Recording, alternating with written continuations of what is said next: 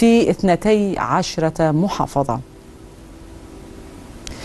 أسدل الستار على القضية التي شغلت الرأي العام فقد أصدر النائب العام المستشار نبيل أحمد صادق قرارا بإحالة المتهم محمود نظمي محمد السيد قاتل نجليه ريان ومحمد إلى المحاكمة الجنائية العاجلة ووجهت النيابة العامة للمتهم تهمة القتل العمد مع سبق الإصرار فضلا عن اتهامه بتعاطي المخدرات وحسم تفريغ كاميرات مراقبة الطرق التي سلكها المتهم قبل ارتكاب جريمته الجدل و موجة التشكيك في اعترافاته حيث أكدت المقاطع اصطحابه المجني عليهما في اتجاه فارسكور